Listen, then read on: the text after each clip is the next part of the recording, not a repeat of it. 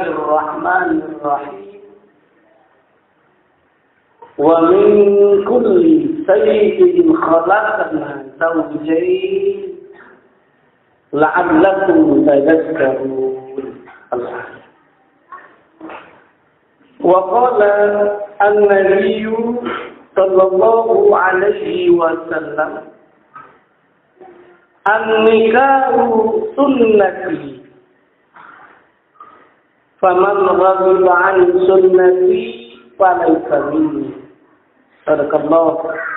وصدق رسول النبي الحبيب الكريم. والحمد لله رب العالمين.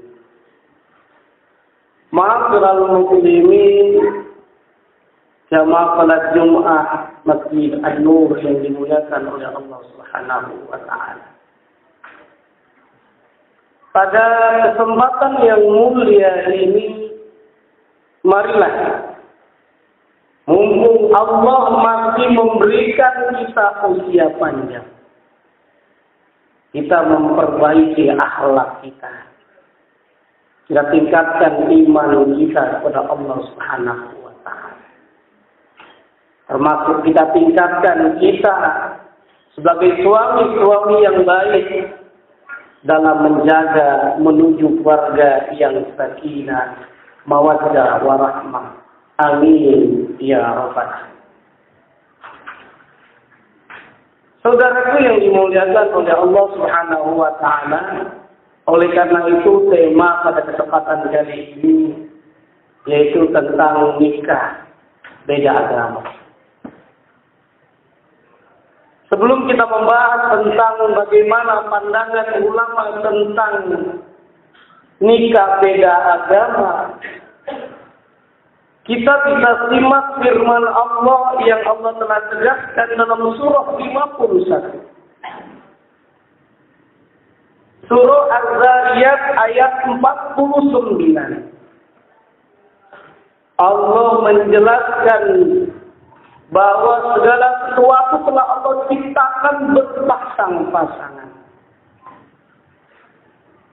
Ada langit, ada bumi, ada siang, ada malam, ada baik, ada buruk, ada laki-laki dan perempuan. Untuk apa? Agar kita ingat kepada Allah Subhanahu wa taala. Wa min kulli shay'in khalaqna zawjayn la'allakum tadhakkarun dan Allah telah ciptakan banyaknya yang berpasangan-pasangan di muka bumi ini agar kita semakin ingat kepada Allah Subhanahu wa taala.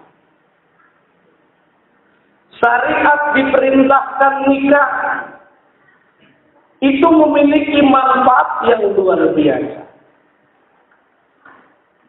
Agar bisa membedakan antara manusia dengan binatang. Yaitu dengan syariat perintah, yaitu dalam pernikahan. Rasulullah menjelaskan nikah itu adalah ibadah yang sangat dianjurkan. Sunnatul muakkadah. An-nikahu sunnati. Faman raghiba an sunnati falaysa minni. Kita itu sangat dianjurkan. Orang yang tidak mau nikah berarti paman rogi ba'an sunnati falaisa. Betapa hebatnya perintah nikah. Menurut As-Sadiqi dalam kitabnya dinyatakan makosid syariah.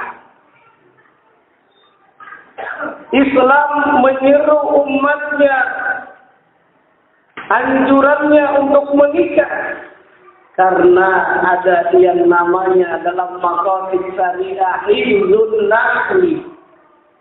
Menjaga keturunan.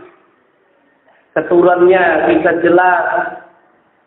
Anaknya siapa bisa ketahuan. Bimnya pun bisa ketahuan.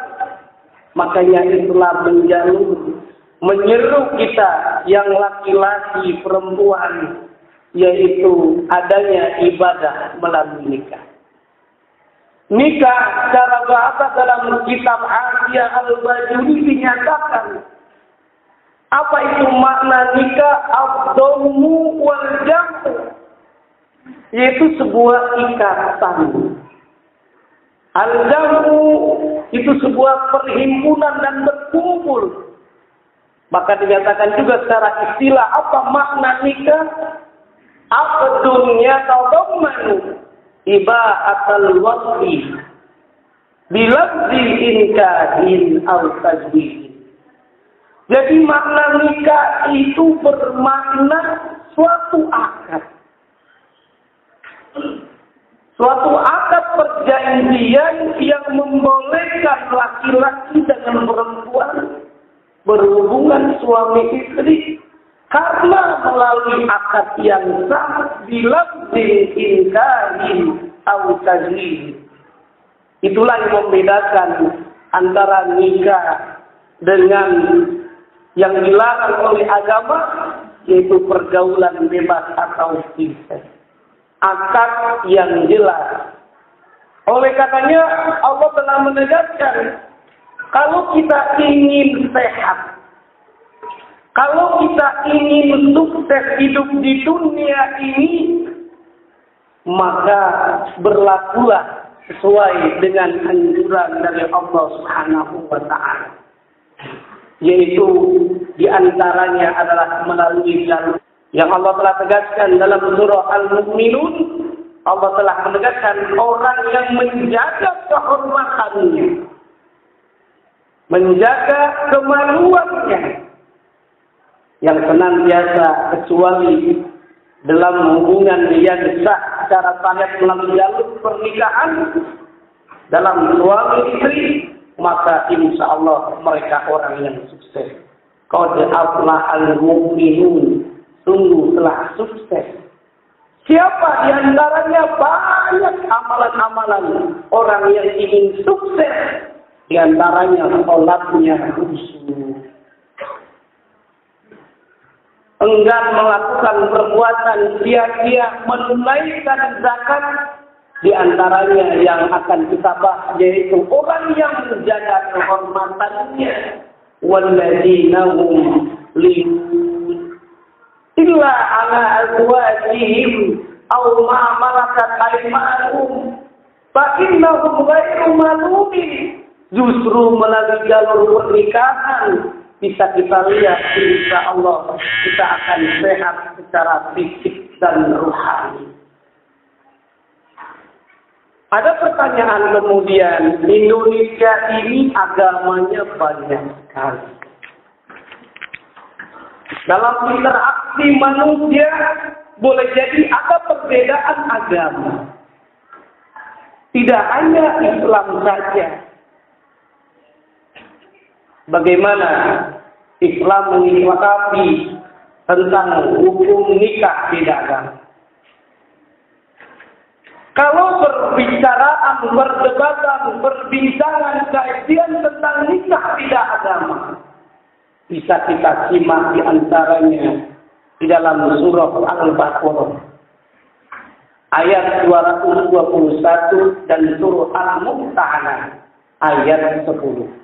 Namun karena keterbatasan waktu pada kesempatan kali ini kita akan coba mengulang surah Al-Baqarah ayat 221 yang secara tegas di dalam Al-Quran dinyatakan nikah beda agama tidak boleh.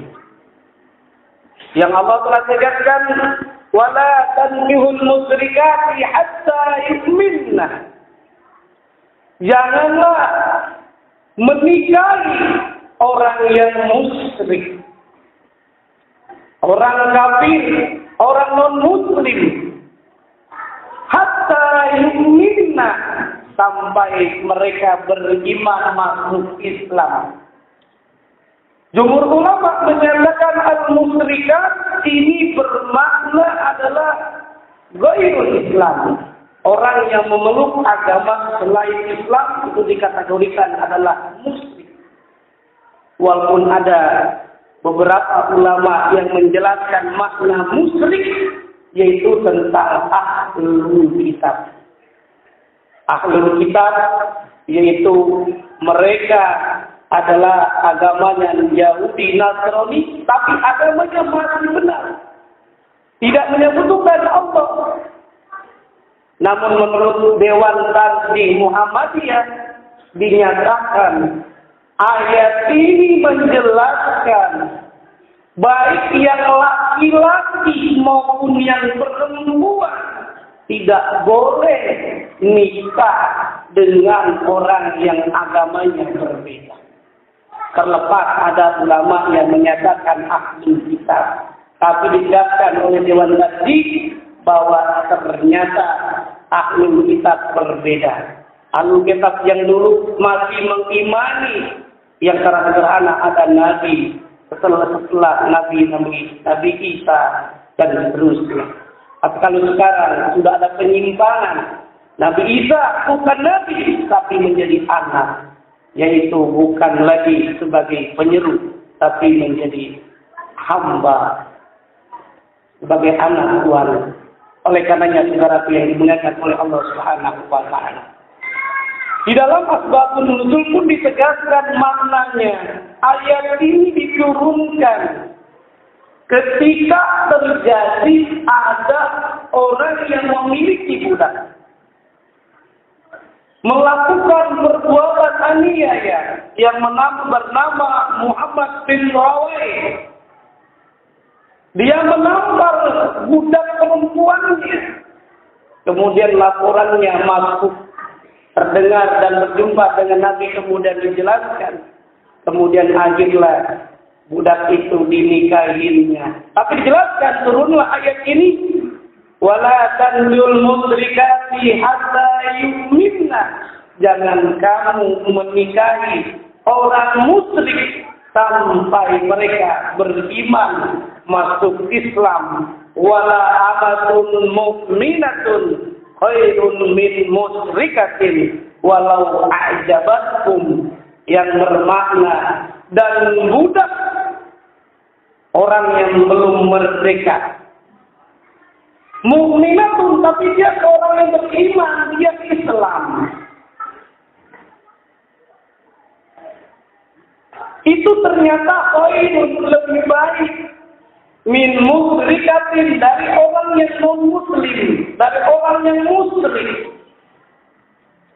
Walau ajabatkum meskipun orang musyrik itu non Islam yang beda agama dengan Islam, itu lebih cantik. Lebih membuat hatinya terpesona. Tapi ternyata Allah menegaskan wala amatun mu'minatun khairun min musrikatin. Ternyata orang yang beriman muslimah itu lebih baik meskipun dia muda. Bahkan Allah pun menegaskan dalam kelanjutannya walatan walatun bihul musyrikin hatta yu'minu dan janganlah nikahkan orang yang musyrik orang yang non muslim hatta yu'minu sampai mereka beriman masuk Islam. Kalau mereka sudah masuk Islam baru dibolehkan nikah. Bukan lagi beda agama tapi satu agama. Wala abdun mu'minun.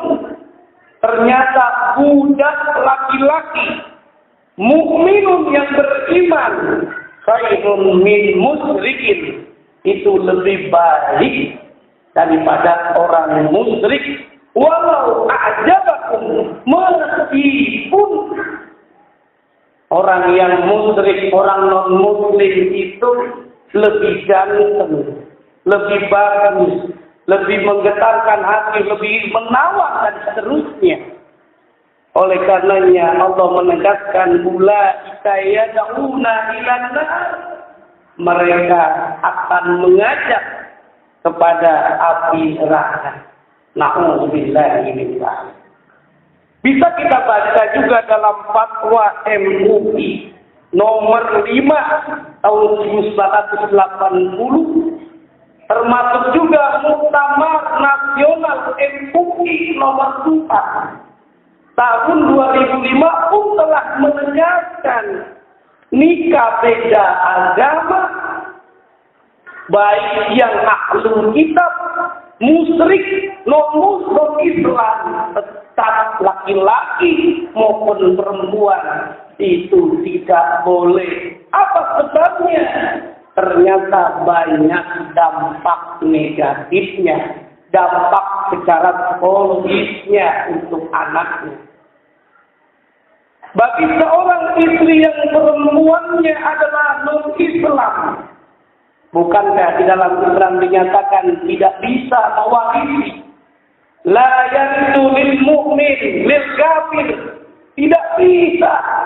Suami yang meninggal memberikan warisan kepada istri yang non muslim atau sebaliknya istrinya non muslim meninggal dunia suaminya adalah muslim maka dia tidak bisa mewarisinya Termasuk juga bagaimana kebimbangan secara psikologis anaknya.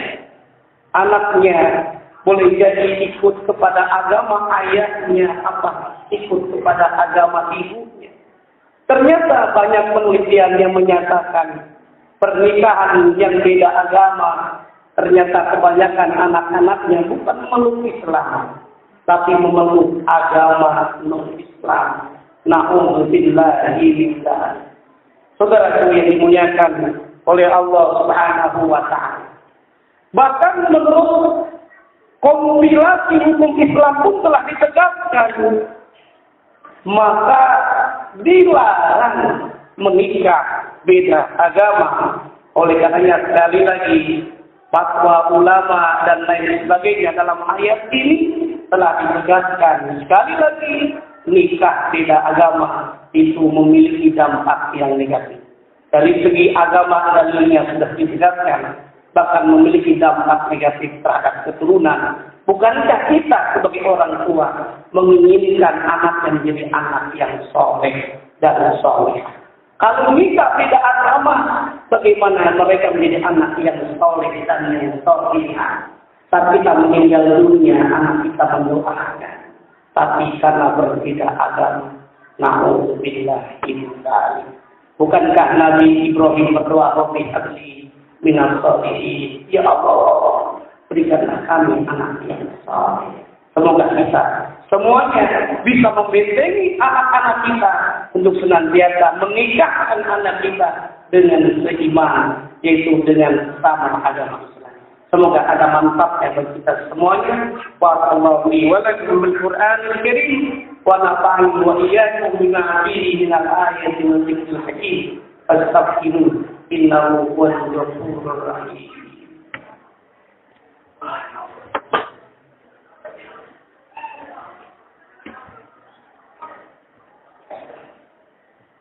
Alhamdulillah الحمد لله رب العالمين والعاقبة للمتقين ولا عدوان إلا على الظالمين.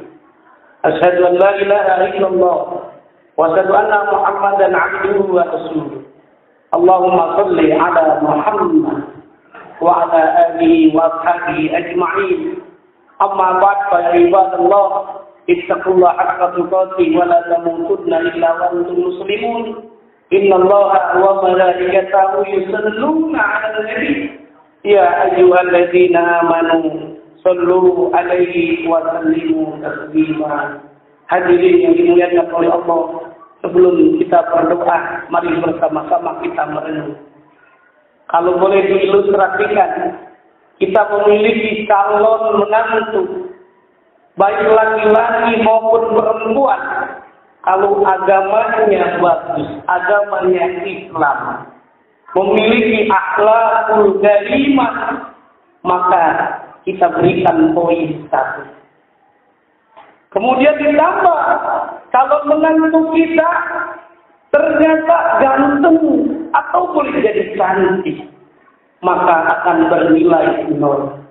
Kalau dia agamanya bagus, dia cantik, dia ganteng, maka akan mendapatkan poin bernilai memiliki anak.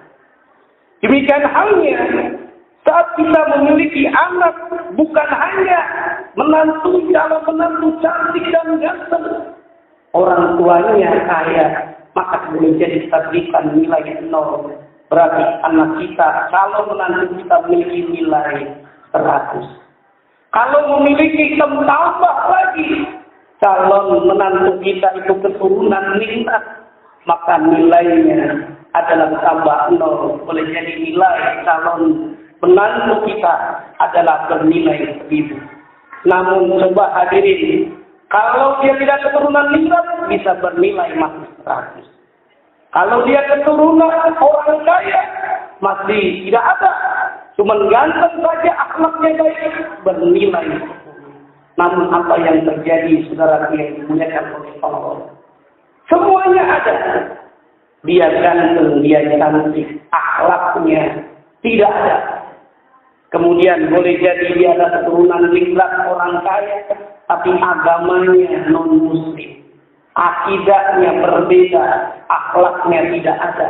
Berarti statusnya hilang menjadi anggota nol menjadi sia-sia. Bukankah Rasulullah menegaskan sunnahul mar'u li lima liha li nasabiha li jamaliha li diniha dengan agamanya agama Islam dan akhlak semoga menjadi panduan bagi kita sebagai calon orang tua atau sebagai orang tua. Allahumma salli ala sayyidina Muhammad wa ala ali sayyidina Muhammad.